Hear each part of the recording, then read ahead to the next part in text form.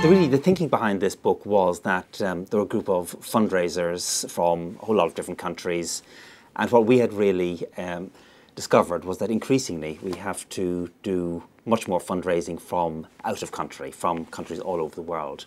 Um, you know, in the past, it used to be the case that only a few institutions would uh, specialise in going after alumni worldwide uh, and going for the richest alumni worldwide. So.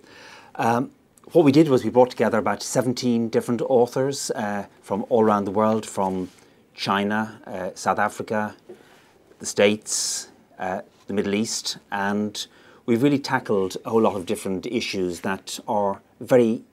practical and of real use to uh, people who want to fundraise um, in, other, in other continents, um, in other countries.